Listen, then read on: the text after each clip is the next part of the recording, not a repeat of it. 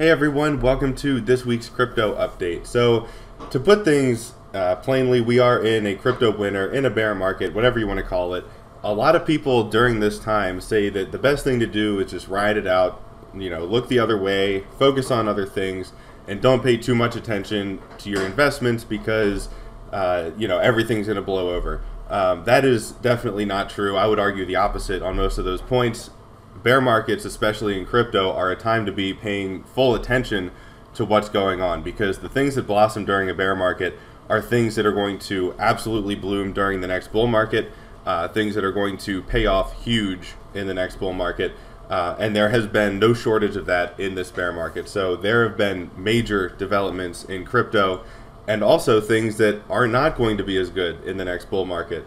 Um, for example, in 2017, we saw things like Litecoin, uh, Bitcoin Cash, uh, some other ones. I don't know. Uh, i want to say Cardano, but that actually made a big comeback. Uh, but there were there was no shortage of coins that really did well in that bull run, and fizzled out in the bear market along with everything else, Bitcoin included, and then just never went anywhere near their 2017 highs. Um, that's going to be absolutely the case once again in the next bull market. There's going to be a lot of things that seemed like sure things, sure bets that are just not going to pan out.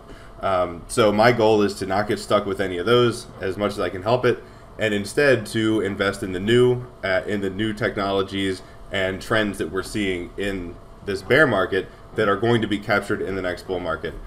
So last week, one of the things um, that I mentioned in the Substack was that I think altcoins can go up 30 to 100x from their lows, wherever the lows may be. Um, and to kind of uh, put that in a different way, or to expand on that, I think that the ones that are going to give the highest gains are the ones that either are small caps or you know were developed in the bear market, where it captured some trend in the bear market that just wasn't around in the last bull market or was underappreciated. Um, and those are going to be the real big winners, closer to the 100x side of things for sure. Uh, so I want to get to some of these trends, some of the things that are going to go out of style during the next bull market, which would be the equivalent of like a Litecoin or a Bitcoin Cash, uh, and some things that are going to be trending during the next bull market. Um, and those are going to be the, the, the, investments I focus on from here on out, at least in this Substack. Uh, so I want to go over one thing that's going to be out of style, I believe, and that is yield farming. So yield farming is essentially uh, an incentive structure for people to buy into certain cryptos. And this was really started by compound finance which is still around. It's a legit project. But there were a lot of other projects that kind of piggybacked off of this made their own version of it and it was a total nightmare once the, the sell-off came around. Um, so it was actually one of the things that ushered us into the last bull market uh, but I think that it was overused and it was kind of abused to the point of no return at this point. Um, and that is because you know the a lot of projects that were out there that blew up in 2021 in a good way and then in a bad way, they were offering like yields on their coins where you'd actually buy their crypto and you could go to their app and you could stake their crypto or provide liquidity with it or anything like that and earn you know thousands in some cases even millions of percent interest. And that sounds good to be true too good to be true because it absolutely is too good to be true. Uh, a lot of people actually did this. There was this whole section of the market called mercenary or defi mercenaries that went around with all their money put it into whoever was offering the highest yield at that moment and it switched like multiple times a day. Um, and then after the yield dried up uh, it left everybody else that had that coin it really in the dust because there was hyperinflation. Obviously, if you're paying out interest in your crypto at like thousands of percent, it's going to hyperinflate the, the supply. And then once everybody's done sucking the yield out of it, they're going to leave and the coin is just going to plummet. This happened time after time in 2020 and 2021, uh, but especially into the latter parts of that 2021 rally in April and then everything totally crashed in May. And some of the things recovered, but most of the market did not recover from that. Most things did not make new highs later on in the year, even though Bitcoin and Ethereum both made marginal new highs. So that was uh, something that I think is going to go kind of out of style. Even though there were legit projects that did this, like Compound and Aave, they have since really backed off in a big way. They don't really do it anymore. Because they saw the negative effects that it brought to the market, and I think it kind of comes with a stigma at this point. Uh, so, cur- like the the cryptocurrencies that that really relied on yield farming are I, I think they're pretty much done if that's still the only thing they're relying on. The ones that have good underlying um, things like liquidity, total value locked, um, that bring in a good amount of fees are going to stick around, especially those ones in DeFi, like the DeFi blue chips, Compound, Aave, uh, Yearn, Uniswap, um, Curve. The, there's a lot out there that is still really good, but uh, yield farming as like an incentive structure, I think, is done, and that is being you know replaced in a way by something else called revenue sharing. So that is uh, really something that I think uh, captures the ethos overall of crypto because unlike the stock market, crypto projects, you know, developers, um, team leaders, and things like that want people to be able to benefit from using their platform. So, for example, there's one project called GMX that passes all of the the fees that it earns, and all those fees are paid in Ethereum. It passes all of its fees along to own or the yeah the owners and stakers of their two different cryptos, which the tickers are GMX and GLP, and they're slightly different. So uh, GMX earns 30% of the fees that go into the protocol. So GMX is a is an exchange where you can trade leveraged futures, and every time you make a trade or uh, you swap tokens on that exchange, you pay a fee, and GMX gets that fee and it passes it along to the stakers of its tokens. Um, like I said, G- the GMX token itself gets 30% of those fees, and some of them or some of it is actually paid in the GMX token, which is a little bit inflationary, but uh, a decent amount of it's actually paid in Ethereum because the fees when you use GMX, you pay a fee in the Ethereum coin, Ether or ETH is the ticker. Um, the GLP token is the real innovation here. That gets 70% of the fees whenever someone trades or swaps on the GMX exchange. 70% of that fee goes to the GLP holders.